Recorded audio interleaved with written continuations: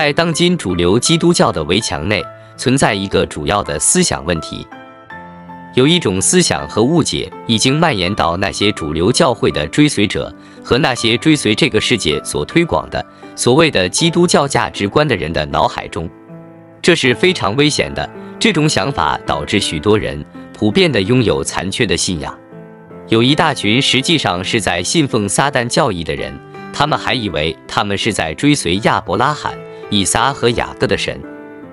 可悲的是，这些信徒从一开始就拥有了错误的思想，他们的信仰从开始就是如此偏离了。除非重新学习，否则撒旦将继续试图控制那些要到天堂父亲那里的人。有一种思路是这么个说法：当一个人试图让他们的生活重新回到轨道上时，他们需要做的就是开始去教堂。是的。这就是大多数人的开始，他们不是被告知有关祈祷、有关和至高者的交流、有关要拿起他们的圣经、有关看看上帝几千年来一直要和我们沟通的事情。他们也不是被告知有关了解上帝的方式以及上帝对我们的渴望。遗憾的是，许多时候，当人们想要、需要开始接近那至高者时，他们并没有受过适当的引导或训练，教导他们如何做。他们所做的事开始去教堂，然后有一天，在某个崇拜结束后，当牧师做呼召时，可能许多人就会受到感动或激励，在呼召时站起来举手，然后就这样接受了主的救恩。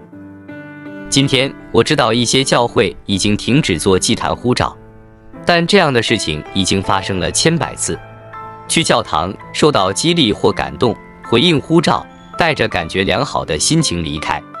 然后觉得他们已经完成这个过程了，他们觉得没有什么可做的，所以他们可以回到正常的生活，因为他们接受了基督。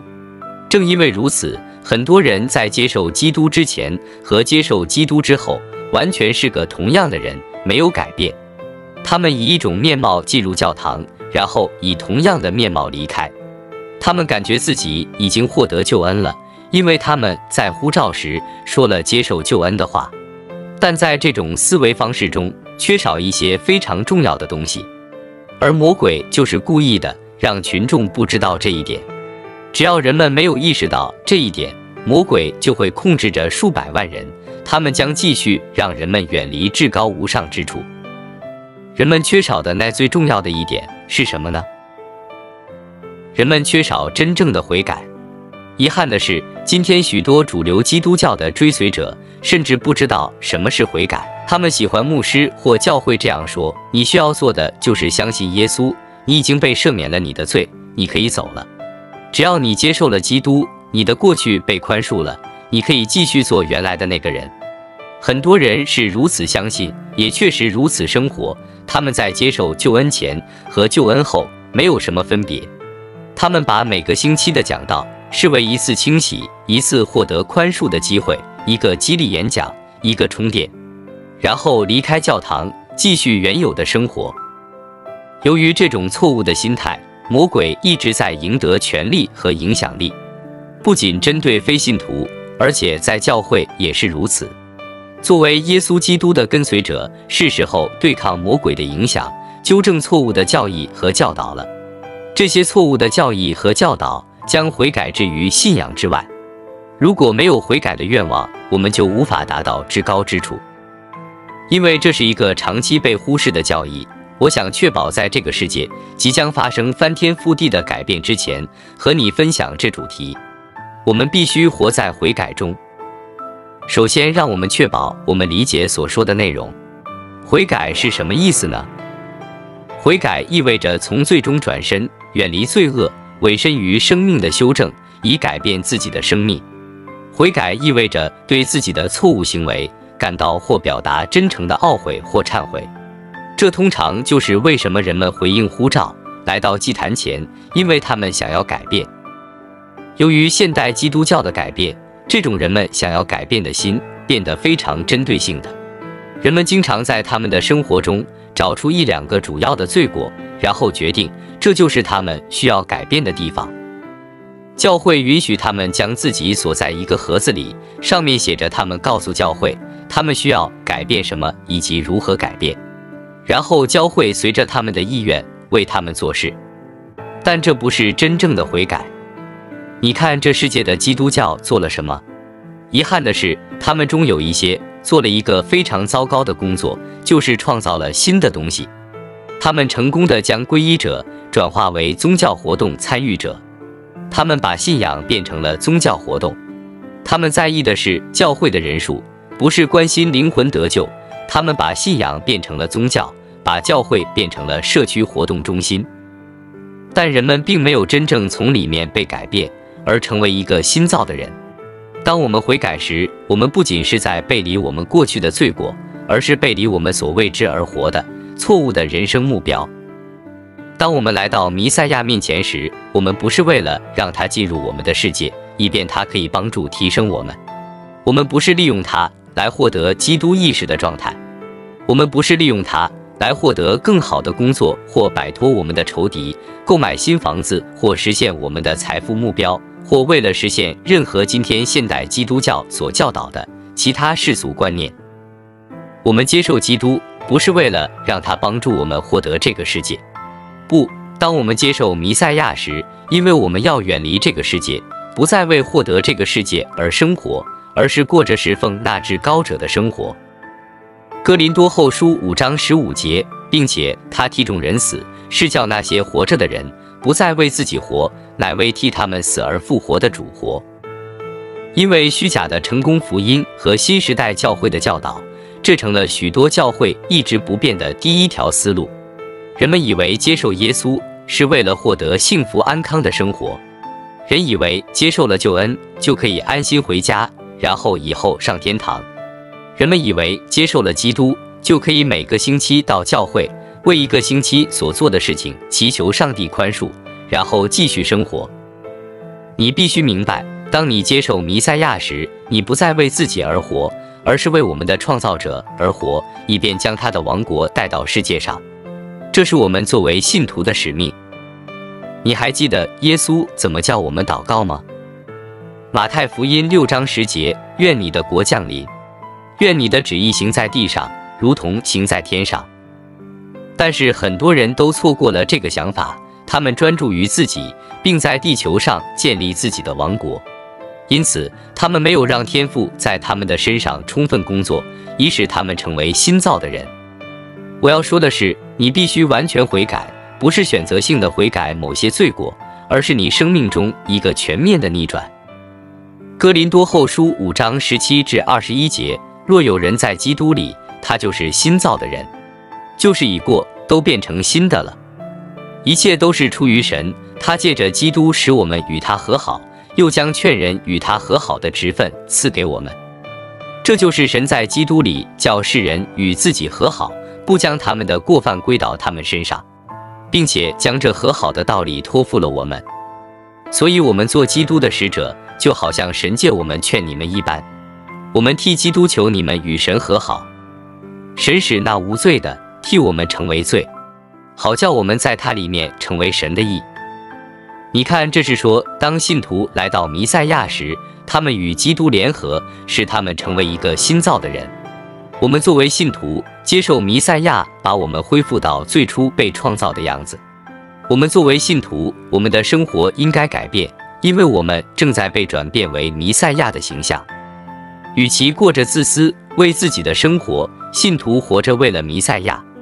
与其用世俗的价值观来评价他人，一个信徒通过信心的眼睛看这个世界。当你这样生活时，世界看起来就会大不相同。你可以通过我们创造者的眼睛看到，即会明白为什么世界上的事情会发生。当你作为一个新造的人活着，为我们父亲的旨意而活时，你就会忘了在你信主前，撒旦在你身上赋予的生活目标。你过去是为了撒旦的目的而生活，而现在你专注的是你的天赋原本赋予你的生命旨意。就如根林多后书五章二十节所指的，我们做基督的使者，我们作为信徒是弥赛亚的代表，我们被召唤在一个反抗至高者的世界中担任使者。所以，如果你声称是属于那至高者的，那么你不仅要远离罪恶，还要远离这个世界让你为之而活的目的。为了阐明这一点，矩阵的比喻是一个很好的比喻。自从你出生以来，撒旦就试图将你的思想困在一个让你生活在毫无意义的、没有结果的矩阵中，所做的一切都是为了侍奉自己，最后无可避免地导致你去侍奉撒旦。在大多数情况下，人们都在沉睡中。大多数人甚至没有意识到这一点。然而，如果他们要醒觉，然后悔改并重生，仅仅远离当他们被困在矩阵中的一些错误行为是不足够的。他们依然还是无法摆脱矩阵的捆绑，只是可能情况好一点。他们仍然被困在撒旦的世界里，仍然朝着撒旦的目标努力。为了让他们悔改、觉醒并成为一个新造的人。他们必须离开撒旦的矩阵母体，并为那至高者而活，这样他们的人生目标才会开始发生变化。这就是许多人在悔改生活中所遗漏的。我们必须为他的国度而活。悔改包括转离我们的罪孽，以及过着以我们父的国为中心的生活。今天我们必须悔改并远离这个世界。这种忏悔在这个世界上是不受欢迎的。他们不想如此完全的悔改，他们依然想要基督的救恩与祝福。只要他们能够同时拥有这个世界所提供的东西，他们希望鱼与熊掌兼得。但这不是完全的忏悔，它不会带你走向真正的生命。当你真正渴望我们的救主时，你将渴望为他而活。你会为你曾经的生活方式感到真正的悲伤，这时你不得不转身。因为真正的悲伤使你产生悔改，导向救赎。哥林多后书七章十节，因为依着神的意思忧愁，就生出没有后悔的懊悔来，以致得救。但世俗的忧愁是叫人死。你必须真诚地寻求主，让他在你里面工作，净化你。约翰一书第一章八至十节说：“我们若说自己无罪，便是自欺，真理不在我们心里了。”我们若认自己的罪，神是信实的，是公义的，必要赦免我们的罪，洗净我们一切的不义。我们若说自己没有犯过罪，便是以神为说谎的，他的道也不在我们心里了。听着，现在是你与那至高者修正的时候了。然而，这不是你必须靠自己完成的事情。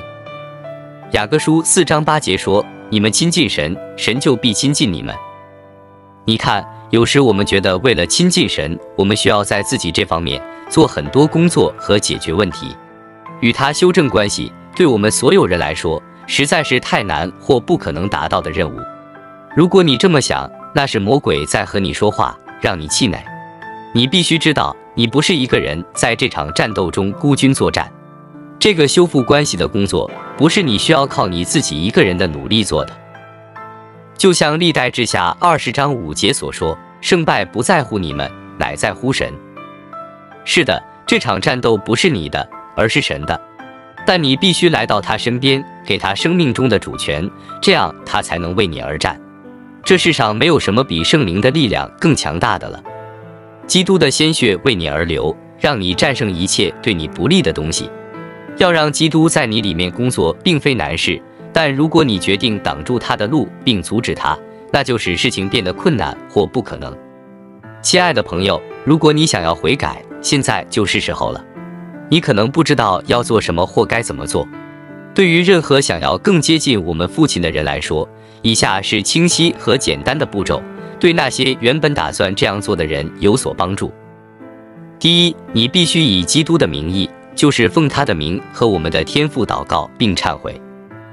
有关是否使用他的希伯来语或英语的名称，这个话题有很多分歧。我在这里不讨论，请不要错过我所说的重点。请你以他差派来的圣子的名义与我们的圣父交谈并悔改，这是你靠近他的第一步。对他诚实，向他坦白你的心，告诉他你想跟随他并顺服他，并请他帮助你做到这一点。你现在正开始与他建立个人关系。第二，每天读他的话，并在生活中应用你所读的。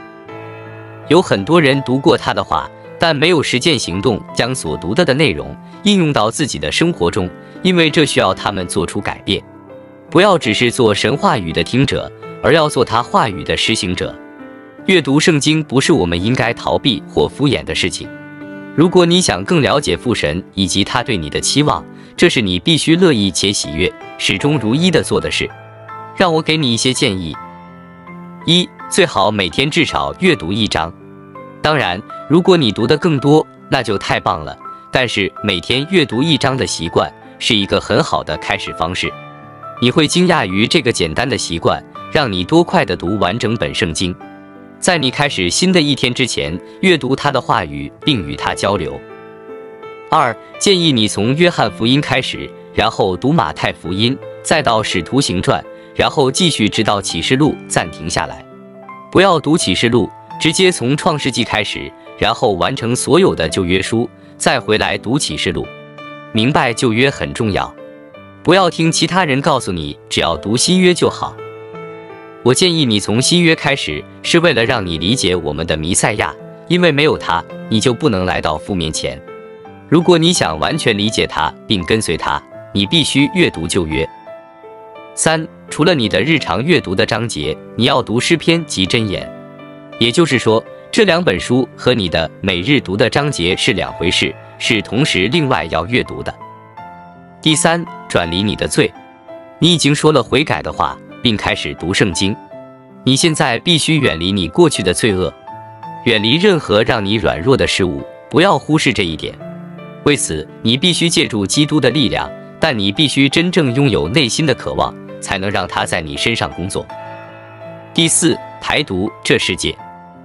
把自己从所有的娱乐和让你分心的事情中解脱出来。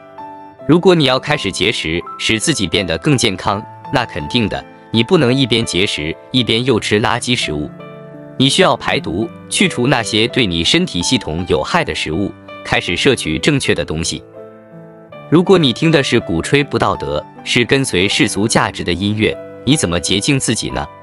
如果你一直看的是不义的影片，浏览的是不雅的线上内容，那你必须对这个世界做个排毒。你必须认真的看待这一个步骤。第五，停止跟随这个世界的方式和传统，你要跟随我们天上的父的教宗。世界向你推广某些世界所认可的行为，那是世界的谎言，让你处于虚假的宗教束缚中。你必须打破这些枷锁，按照神的话语，而不是人的话语生活。约翰一书二章十五节说：“不要爱世界和世界上的事。人若爱世界，爱父的心就不在它里面了。”第六，找出你生活中潜在的偶像，并将他们移除。请记住，偶像不只是你跪拜的东西。偶像崇拜的意思是一个人对某样事物中度或极端的依恋状态，钦佩、奉献、崇敬或爱，或任何胜于你对至高者的依靠。奉献、崇敬或爱的事物，许多事物在你的生活中可能是你的偶像，而你没有察觉。应该没有任何东西比那至高者更优先。这并不意味着你必须将他们完全排除在你的生活之外。例如，你的家人很重要，当然不是说要摆脱你的家人，但在你专注于实现神的旨意时，你必须重新确定他们的优先顺序与重要性。有的人因为家人而远离了神，家人可能就成了你的偶像。记得，当你全心在侍奉那至高者时，你是在以你家人最需要的方式，同时在侍奉他们。第七，你必须背负你的十字架。基督在路加福音九章二十三节说：“耶稣又对众人说，若有人要跟从我，就当舍己，天天背起他的十字架来跟从我。”正确的期望至关重要。不要期望跟随基督的决定不会面对挑战，你会遇到积极的试图让你转身离开的反抗。背负你的十字架意味着你必须知道你将遭受预期的迫害、怨恨、遗弃、挑衅等等，并借着圣灵的引导来对付这些挑战。魔鬼不想让你悔改，所以他会来对付你。如果你理解这一点并准备好处理它，他就会逃离你。第八，明白去教堂不是必须的。由于现代的教会文化，这对人们来说很难理解。我必须说明，环境确实非常重要。请明白我试图表达的，我不是说你不要和心意相同的、真正的基督跟随者团契。教会不一定是想今天我们看到的有众多人的巨型教会。马太福音十八章二十节，因为无论在哪里有两三个人奉我的名聚会，那里就有我在他们中间。你的教会不需要像我们看到的那样是一个大型组织。所有的教会都不坏，但所有这些教会也不一定是好的。你不一定要永远对一个教会忠诚，让基督指导你他所想要的路，以及他希望你如何发展与他的关系。我试图表达的是。不要认为你跟随耶稣就意味着你要急着跟随他们去教堂，请先理解神的话语，然后他会帮助你知道你要在哪里成长，不一定是你被带去的教会。这不是关于去参加教会，而是成为教会。有多少人去的那些教堂，并没有信仰在当中。如果这些教堂没有信心，他们也会除掉你的信心。如果你有一般志同道合的团契，那是祝福。我要说的是，仅仅因为你试图追随上帝，并不意味着你现在立刻需要加入某人的教堂或某个团契。那是现代基督教。即使是在你的家里聚会，和家人或志同道合的信徒在一起，诚心诚意的，那也是没问题的。第九，记住，这是关于个人关系的，这不是有组织的宗教，这是你和我们的创造者之间的连接。专注于与他建立亲密关系，从而始终保持对他的信靠。他有一项特别的任务要交给你，他对你有特别的旨意。